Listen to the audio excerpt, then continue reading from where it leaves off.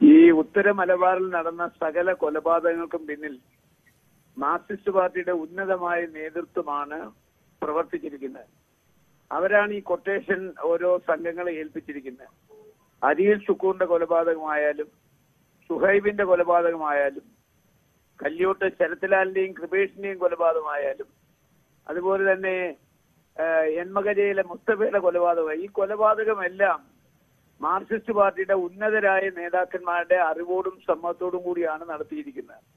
അതിൽ പല കൊലക്കേസുകളിലും മാർക്സിസ്റ്റ് പാർട്ടിയുടെ ഉന്നതന്മാരായ നേതാക്കന്മാർ പ്രതിസ്ഥാനത്ത് നിൽക്കുന്നുമുണ്ട്. അപ്പോ മലബാ മലബാർ കേന്ദ്രമാക്കി സ്വർണക്കള്ളക്കടത്ത് നടത്തുകയും അതുപോലെ തന്നെ ചരസും ബ്രൗൺ ഷുഗറും എം ഡി എം എ ഒക്കെ കടത്ത് നടത്തുകയും ചെയ്യുന്നതിന്റെ എല്ലാം പിന്നിൽ ഈ ഉന്നതമായ നേതൃത്വത്തിന്റെ അറിവും സമ്മതവും ഉണ്ട് അവരാണ് ഇവരെ കൊണ്ട് ചെയ്യിക്കുന്നത്.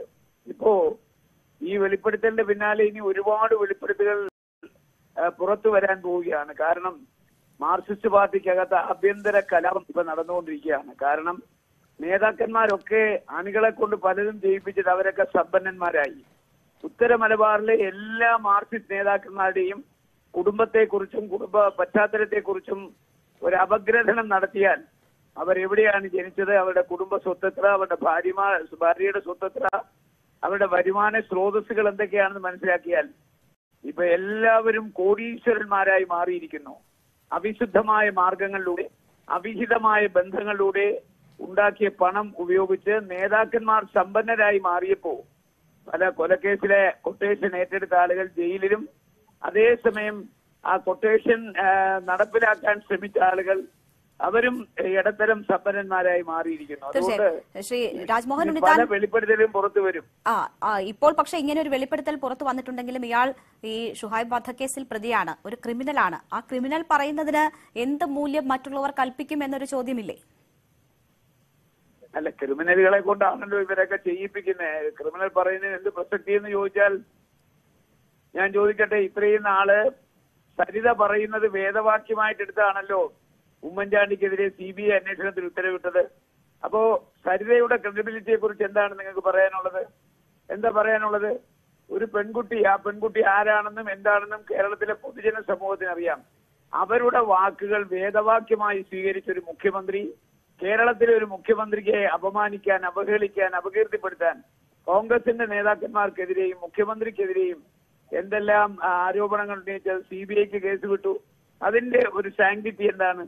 അതിന്റെ ഒരു ക്രെഡിബിലിറ്റി എന്താണ്?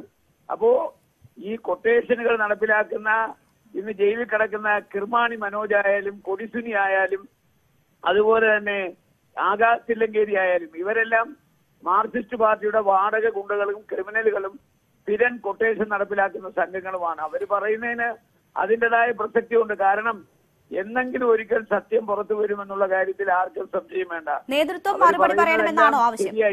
നേതൃത്വം ഇക്കാര്യത്തിൽ മറുപടി പറയേണ്ടി വരുമോ? തീർച്ചയായിട്ടും.